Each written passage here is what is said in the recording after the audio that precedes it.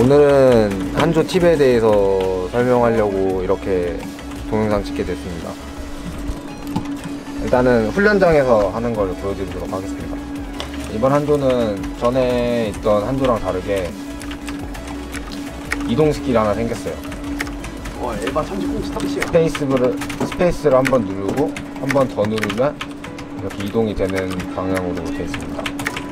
그리고 나서 원래 있던 갈래 화살이 폭풍 화살이라는 걸로 바뀌었는데 이거는 head 판정이 가능한 head 판정으로 deal이 들어갈 수 있고 그 연사가 되기 때문에 충분히 전에 있던 갈래 화살과 똑같이 tanker를 녹이기 적합한 skill로 보면 되시겠습니다. 일단은 그리고 나서 한조는 기본적으로 skill이 shift 시야 화살이라고 해요.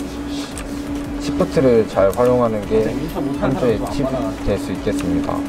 일단 뭐 한조는 뭐 딱히 다른 것들은 별로 없고 맥크리 하듯이 flick shot이라고 들- 불리우는 이런 flick shot 이런 걸 연습해 주시면 한조할 때 편할 것 같아요. 일단은 가볍게 한번 해보겠습니다.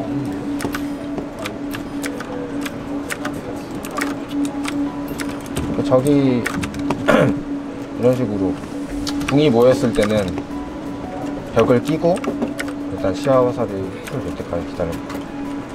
이렇게 벽을 낀 상태에서 시야 화살을 벽에 쏘고 공을 땅바닥을 땅바닥에 살짝 감, 잠길 정도로만 공을 써주면 다 맞는 공을 쓸 수 있습니다. 일단 비빌 때 쓰면 효율적으로 쓸 수 있어요. 그러고 나서는 이번에 새롭게 패치된 폭풍 화살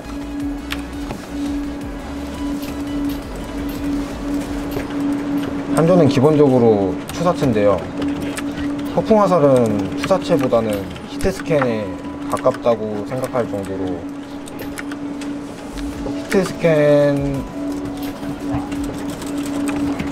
비슷해요. 아주 아주 유사해요. 그래서 이걸 쓸 때는 딱히 뭐 계산하거나 그럴 필요 없고 어느 정도 일정 거리만 된다면 맥크리 쓰듯이 사용하시면 될 것 같습니다. 뭐 이거 외로 이번에 아까 맨 처음에 소개했던 거와 마찬가지로 shift skill 이동 skill이 늘었는데요. 옛날에는 한도로 이런 식으로밖에 이동을 하지 못했다면 이제는 여기서 여기서 이렇게 이동을 해서 자리를 먹기 편하게 됐습니다. 사실 이번 패치로 인해서 한도는 위도우와 맥크리의 두 장점들을 모아 만든 캐릭터라는 게 확실해졌고요. 뭐, 뭐 여러 가지로 좋아졌다고 생각했어요. 이제 대회에서는 패치 전 한조를 사용했지만 지금 현재 라이브 서버에서는 패치된 한조를 사용하고 있기 때문에 다들 한조가 너무 좋아서 많이 쓰고 있는 추세입니다.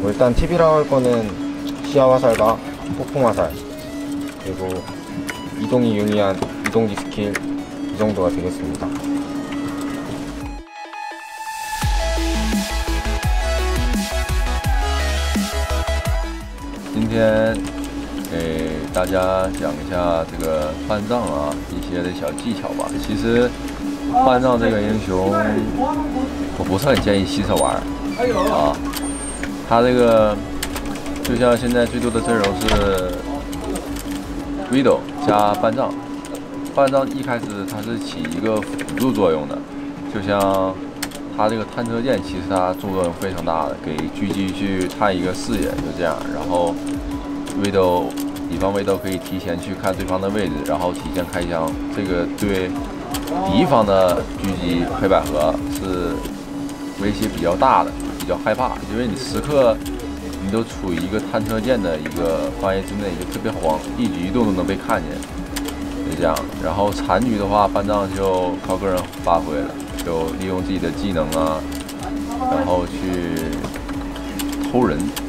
要怎么克制半藏这个英雄呢？就还是你也起个半藏，或者起个威斗跟他对，给他打死就完事了。要么就上一个源氏去贴贴脸去标他呀，用自己的技能，然后去击杀班长。就利用班长这个探测键，然后看到了吧？就是可以发现敌方黑百合藏的位置，然后让敌方黑百合去进行一个攻击，去提前开枪锁他的位置。啊，就时刻让敌方的狙击位处于一个被侦察的状态，他无处可藏这种感觉啊。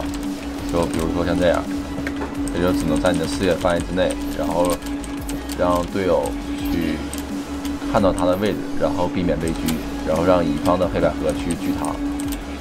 所以说，当一个 Widow 一个 Widow 面对敌方是 double sniper 的一个状态的情况下，那个 Widow 是很难玩的，因为他时刻都被这个班长一直射看得见。他班长的作用是这样的，就是利用探测键的这个技能效果，然后去让队友提前知道对方的位置，然后去做一个判断，去怎么攻破对方的阵型啊，还是什么之类的，巴拉巴拉巴拉，可以和黑百合去进行一个技能配合，就是半藏放一个探测键，然后让乙方队友去帮忙，或者是提前去埋伏他们。也可以让黑百合去开一个大招，然后让半藏用那个 Q 技能啊、大招啊去封他的走位。就双方都是黑百合加班长，就比谁家厉害，谁家 P 位给对面的压力比较大。那有没有什么地图比较适合拿班长的？嗯，推车图吧，推车图其实任何地图都比较适合班长。尤其是现在这个版本，它这个 E 键的 E 技能啊，就非常的 bug，非常的牛批